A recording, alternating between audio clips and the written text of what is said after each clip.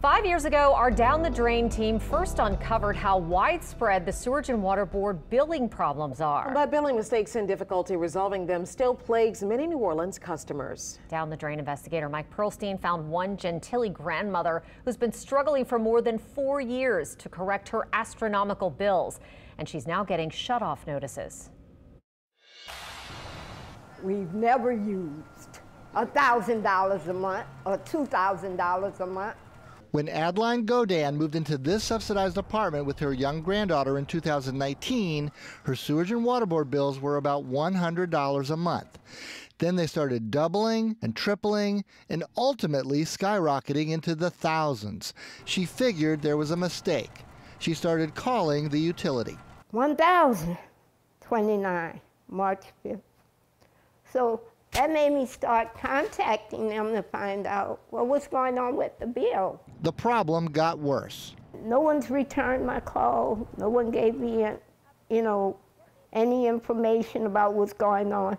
When her bill climbed past $35,000 this summer, she got this disconnection warning. It's too stressful. I, have been trying to be normal in front of my granddaughter, but it's hard. Ms. Godan is not alone. This is this happens to so many different people. Even though the agency has repeatedly promised to do better, City Councilman Joe Giarrusso said his office is still getting regular calls about out of whack bills. That's why the council is now preparing to put out a bid for an outside company to immediately handle all billing disputes. This is objective math and it and it should add up and it's not. Ms. Godan hired a plumber. He found no leaks, but he did find a potential mix up with the apartment's water meters.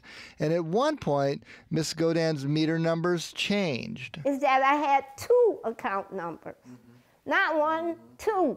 And they get spun around for such a long period of time, and they don't have certainty, they don't have predictability, and they don't have ultimately what's right, which is an accurate bill.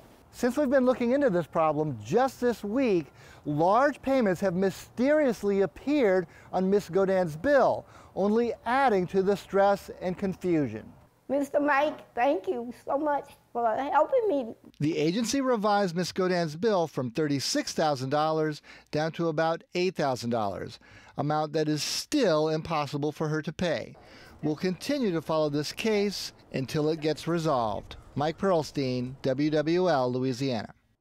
Well, the Sewerage and Water Board recently had its chief customer service officer look into Ms. Godin's disputed bills, and so far the agency has credited her about a count about $28,000 as you just saw. Yeah, but in an emailed statement today, the agency said much of the $8,000 balance is coming from missed payments, late fees, penalties, and quote, a period of very high water consumption. And meanwhile, the council hopes to have an outside contractor taking over billing disputes by early next year.